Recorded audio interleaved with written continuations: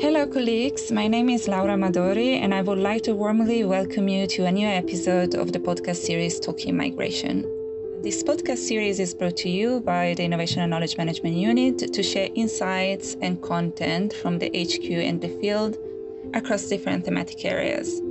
This is part three of a series we are doing on MCOF, the Migration Crisis Operational Framework, the IOM central reference for addressing the mobility dimension of crisis. To catch up with the series, I encourage you to listen to our first two episodes from our podcast series playlist.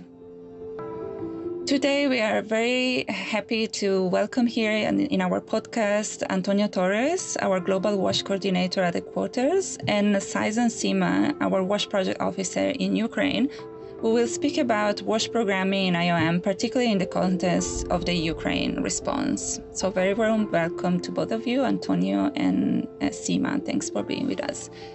Within the 2021 MCOF addendum, water sanitation and hygiene, commonly referred to in its abbreviation WASH, was reflected as a new sector of assistance. This is a recognition of the significant growth in IOM's WASH programming since the previous 2012 MCOF.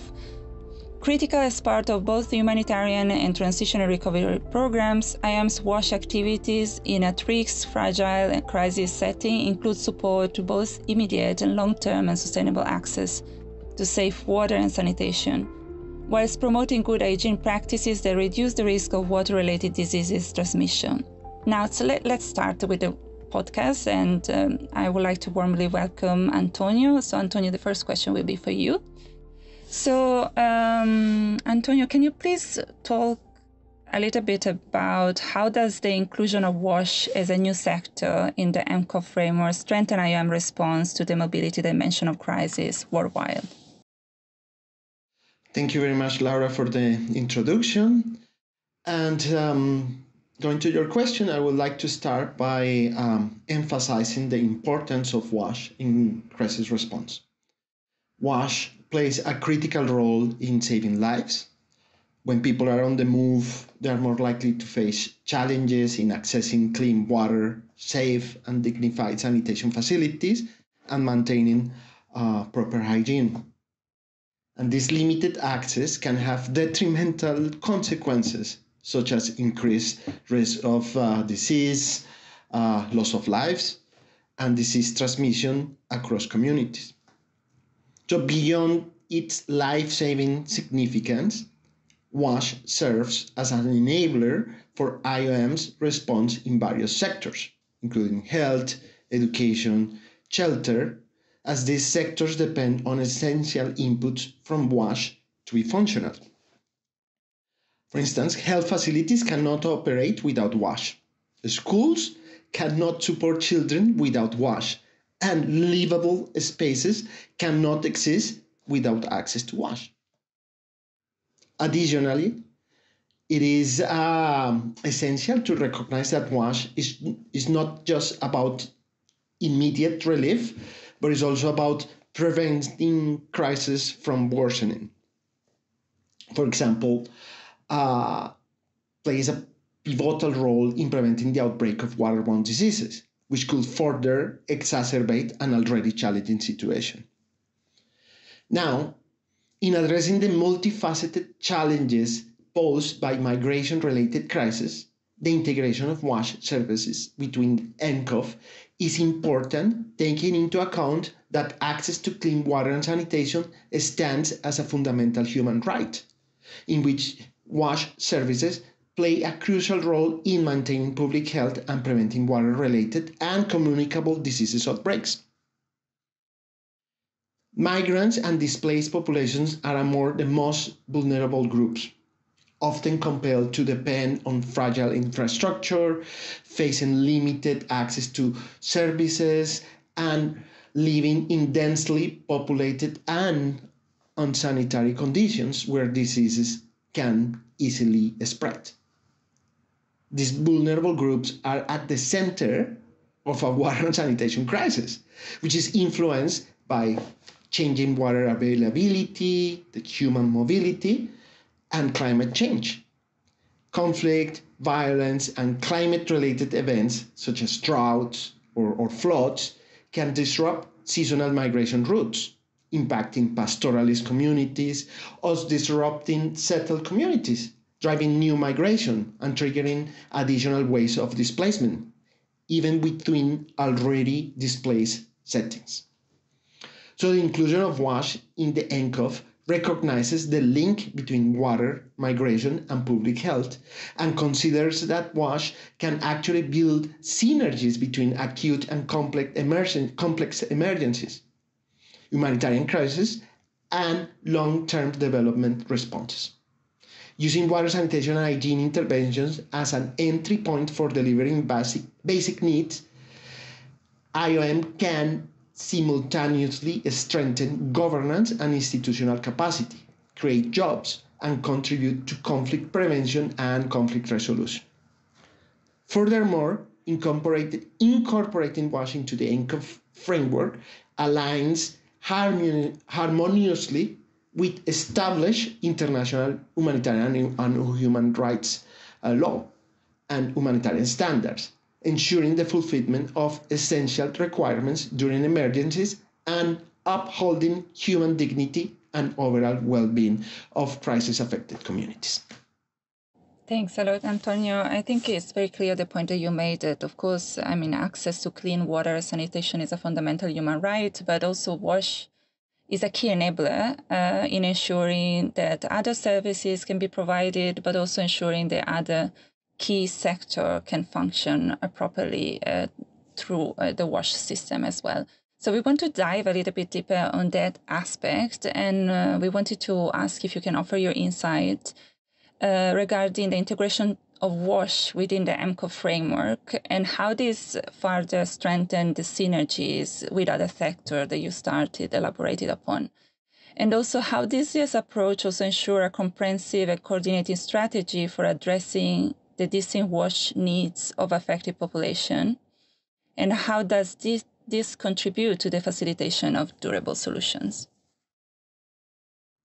Okay, so to address the first um, part of your question, the integration of WASH within the MCOF framework aligns with IOM's commitment to a comprehensive and coordinated uh, approach for responding to the mobility dimension of crisis which span the humanitarian development, peace, and migration spheres.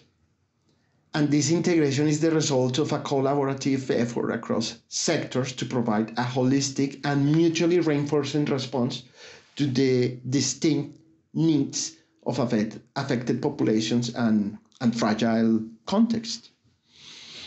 And as I mentioned before, access to clean water and sanitation is a fundamental human right and at the heart of this integration among other sectors lies the recognition that WASH services cannot be viewed in isolation.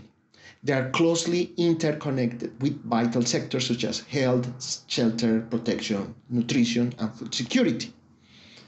For instance, close coordination with the health sector ensures that clean water, sanitation, and hygiene practices in homes along uh, mobility corridors and healthcare facilities contribute to infection prevention and control, which is crucial for um, disease prevention.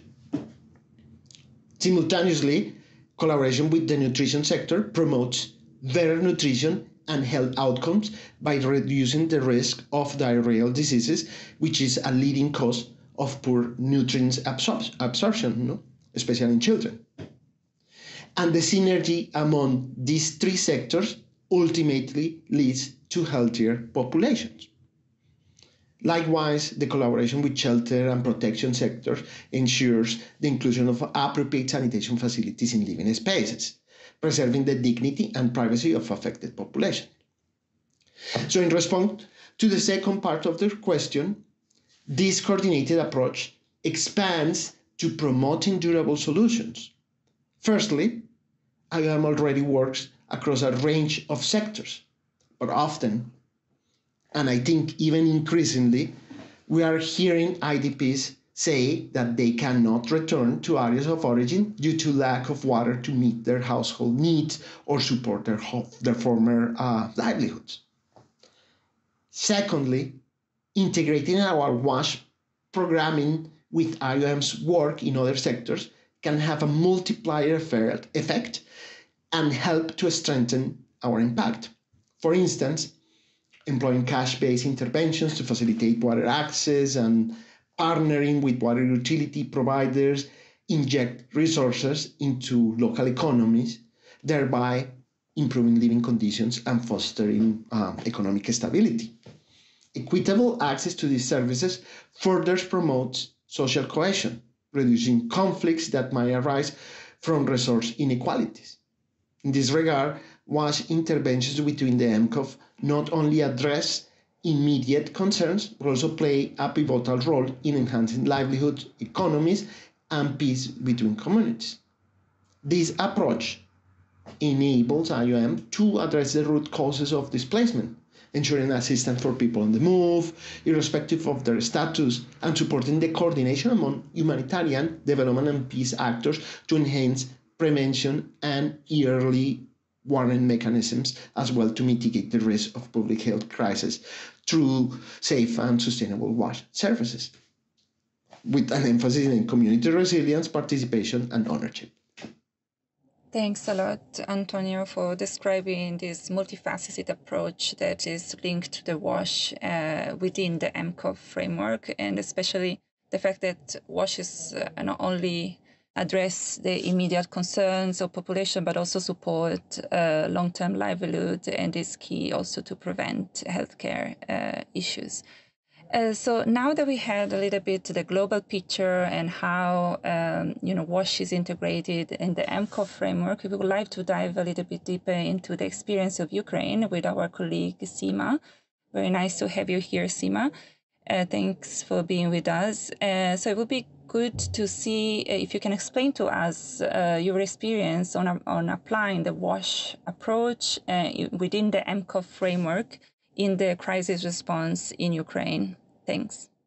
Thank you for having me, Laura. Um, I'm very happy to share my thoughts and experiences on this podcast. So, I must say that uh, the integration of WASH within the MCOF holds uh, really significant importance in addressing uh, the complex cross cutting challenges and uh, advancing equitable access to essential services, um, such as uh, the access to water, uh, which we have already mentioned that is a basic human right. Uh, so for the cross-cutting elements emphasized by the MCOF, um, e- encompassing gender equality, protection mainstreaming, and um, adaptation to climate change, these are all particularly relevant in the context of Ukraine, um, where the migration context is uh, multifaceted, as we all know. Uh, so, for instance, um, through the lens of gender, we have tailored and planned our WASH interventions to meet the distinct needs of women, girls, uh, boys, um, and men, uh, ensuring uh, inclusiveness and uh, sensitivity to diverse vulnerabilities. Um, so, moreover, we have adopted uh, this through distributing caregiving kits. Uh, these are customized versions of hygiene kits uh, for the elderly or the bedridden population. Uh, this ensures that even the most vulnerable individuals uh, receive specialized care and support uh, within the migration context. Uh, so, furthermore, the integration of WASH services within the MCOF has enabled us to align our WASH programming with evidence based approaches, uh, promoting accountable and responsible service provision uh, so the MCOF's emphasis on accountability to affected populations and transparency has enabled us to engage with the local communities and migrants themselves. Uh, we incorporate their insights and preferences into our interventions. Um, for example, we have uh, QR codes on some of our relief items that we provide, and through this, we are able to gather uh, feedback directly from the people we serve. So this kind of uh, participatory approach fosters a sense of ownership and ensures that our services cater for the cater to the actual needs of the population, uh, which uh, hold a significant importance in Ukraine, um, where the urban environment and diverse population dynamics pose distinct challenges. Thanks a lot, uh, Sima. It's so important this participatory approach that you're talking about and the gender sensitivity of including, you know, special needs of women, men, youth, and children in the whole approach. Um, now, uh, since you mentioned, you know, a little bit the situation in Ukraine, we would like to understand more, uh, and if you can please share with us uh, uh what has been the role that MCOF has played in facilitating WASH services within an urban context like Ukraine, distinguishing it from other contexts you, you have worked in. Yes, um, so the MCOF recognizes collaboration as a very key uh, operational approach, and this enables a more effective response. So, working in an urban context like Ukraine, uh, we have a favorable en- enabling environment. Um, the MCOF has enabled us build strong relationships with the water utilities. These are also known as vodokanals in Ukraine. Uh, so we we base our response based on our re- relationships with these uh, utilities to restore functionality and to sustain the existing uh, municipal water and wastewater systems. So additionally, we have a thriving private sector and access to modern technologies uh, because of, of, obviously the presence of Ukraine uh, in the region uh, close to Europe. So we have leveraged uh, the emphasis of MCOF on adapting climate change through focusing on innovative renewable energy options, uh, such as uh, micro hydropower generation, as well as technologies promoting uh, energy efficiency, such as cogeneration power plants. So, reflecting on my work in other contexts, for example, Northwest Syria, where I worked, um, I see similarities in the relevance of MCOF in guiding WASH programming uh, within IOM. In our cross border response to the crisis in northwest Syria, we relied heavily on our collaboration with the local non government organizations uh, that served as our implementing partners in the absence of a function of functional state actors to deliver humanitarian assistance to the internally displaced persons. So our response uh, strategically incorporated each of the MCOF's cross-cutting issues, like uh, we have already, like I already mentioned before. Guided by IOM's Humanitarian Needs Assessment Program, the HNAP, uh, we worked towards uh, creating gender sensitive and dignified living conditions for internally displaced uh, populations who had the opportunity to provide uh, feedback through IOM's accountability to affected populations channel, uh, the dialogue information and participation systems. Thanks a lot, uh, Sima. I do see that, you know, in an urban setting like Ukraine, the, the approach that you just described to us, and especially the private sector partnership are very interesting and can really support, as you said, also uh, innovative solution like renewable energy options. And we certainly would like to, to know more in a next episode about those in more detail. Now, um, we are heading toward the ends of the podcast, but we would like uh, to recap a little bit because you share, both of you, very interesting insights. So I would like to ask to Antonio if you can please summarize for us or highlight for us the key takeaways that you would like our colleagues, our listener, uh, to remember about the importance of WASH within the MCOF framework and its role in addressing migration related crises effectively? Thank you, Laura, for this question. Well, then, um, I think that ensuring equitable access to sustainable water and sanitation services, pairing it with hygiene promotion, are critical life saving measures during crisis. Additionally, having strong WASH capabilities is essential for delivering effectively in various sectors, such as health, education, and, and, and shelter. WASH is also central to building resilience to future shocks and stressors. For example, uh, through flood mitigation measures or through support to water governance to mitigate uh, conflict over water. And this, I think, is an element of IOM WASH uh, programming, which will grow even more um, over the coming years. Over the coming years, um, as the impacts of climate change grow more acute. The other point that I'd like to stress is that when we think about responding to crisis as, as IOM, we consider the interconnected nature of humanitarian development and peace building needs and the importance of addressing these through a coherent approach across the triple nexus. WASH can build synergies between acute and complex, and, and complex emergencies, and recognizing WASH between the MCOF ensures that immediate needs are met and act as an entry point to lay the foundations for durable solutions and longer term development efforts to address the root um, causes of, of crisis and, and fragility. Collaboration with uh, various uh, sectors, community engagement, and alignment with the HDPN principles all underscore the importance of WASH in promoting resilience, stability, and sustainable outcomes in the face of the complex migration challenges that we are facing.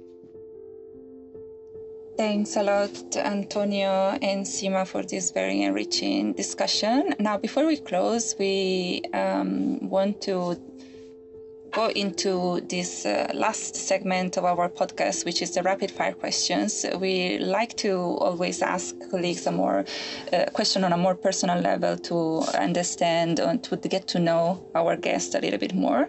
So I would like to start. Maybe I'll start this time with Sima uh, with this uh, rapid question. So Sima, are you more a thinker or a doer? That's an interesting question, Laura. I would say I would be tempted to say that I'm both, uh, but actually I would uh, emphasize that I am a doer. Um, I like to get things done because, especially in the context we are working in, in this humanitarian context, you really have to get uh, get your hands on ground. Your hands have to get burnt at sometimes, and uh, you learn from the process, and then you incorporate some of your lessons learned into your work. So I would say I I am more of a doer, but also to learn throughout the process of doing and uh, be able to to address future similar challenges. Thanks a lot, Sima, for being an action-oriented colleague, but also that loves learning. Now, to, over to you, Antonio. What are you, a thinker or a doer, or something else?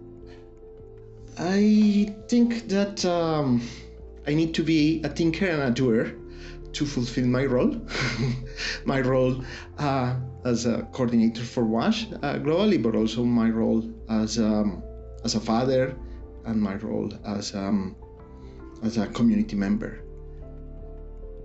Both of them are uh, equally important, and I think that I have um, a space in both of them. Yeah, I tend to think that. Very good. Uh, now, a practical question for our newcomer IOM colleagues um, to you, Sima again. What advice would you give to someone on their first day at IOM? Well, um, on the first day, I would uh, definitely tell my new colleague to, first of all, focus on their motivation, why they joined the organization, and try to identify uh, synergies uh, with the IOM vision or that particular team's uh, strategy because IOM is a very big organization and it's uh, it's very easy to get lost into so many things. So I would say just know your motivation and have that at the back of your mind as you do the so many tasks that will be assigned to to you. Thanks a lot, Sima. Definitely, motivation is key. Um, you know, for success and to to keep uh, our focus uh, going. Um, what about you, Antonio? What advice would you give to IOM colleagues on their first days of assignment? Oh, I think that uh, my advice will be on prioritizing teamwork. Yeah? I'm trying to learn from those who are experienced in the field. Those are the two more important recommendations that I will give to anyone entering into IOM. Very good teamwork. We definitely need that, and we need to, be able to always collaborate within everything that we do in the organization. Now, uh, a question that uh, to close, a question to get to know, you know, to get to know you more in in in a deeper sense, maybe a more philosophical question even. So, Sima, what is your most important wish in this life? Uh, what should absolutely happen for this life to be truly fulfilled? So I will have to answer this twofold one as a wash officer and another as me. so, as a wash officer, I, my most uh, important wish is that we all have access to uh, climate resilient and uh, smart uh, services, wash services. Uh, so, we you know it's uh, it's our motivation and this is anyway why we are working hard in IOM. Uh, but anyway, as me, I think my most important wish would be to live in a world without uh, p- without uh, conflict. Uh, as you know, today the the world is really uh, faced with so many crises. So my wish would be that uh, we live in a, in an environment where we are living in peace, where we have good health and well-being, and we are able to explore. Everyone is able to to explore their potential and in this way, I think the world would be in a better place and we would live uh, happier lives. Thanks, Sima. I really love that. Like living in a peaceful and conceiving environment to explore our potential.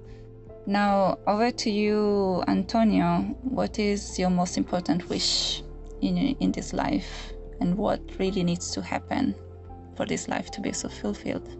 I, I think I'm going to copy a little bit the shape of the response that um, Sima did. Um, one part is that one important wish for me is that that uh, everyone can access to clean water and sanitation services. No, water and sanitation for all without restrictions. Yeah, it's a little bit ambitious, but but why not to think? And that's also part of my professional drive yeah? And uh, and and complementing that and having a second part of uh, to, to your question I, I also like to say that I would like to be able to do uh, a good job. And I wish to have um, good life and work balance that allow me to fulfill my professional aspirations, but also my my life um, wishes, no, and spend time with family. Very good. And definitely water and sanitation for all. This should be our slogan going forward. And very good also to find this personal and professional balance to fulfill all uh, that we want to accomplish in this life. So thank you so much for this super interesting podcast, uh, uh, both Sima and Antonio. And thank for your time, colleagues, and for listening to our podcast. We hope you enjoyed this episode. If you did, please share with your peers.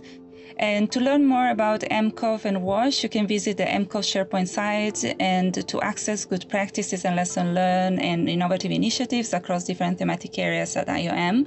Please visit the Peer Exchange and Learning on Migration platform, uh, known as POEM platform at poem.iom.in.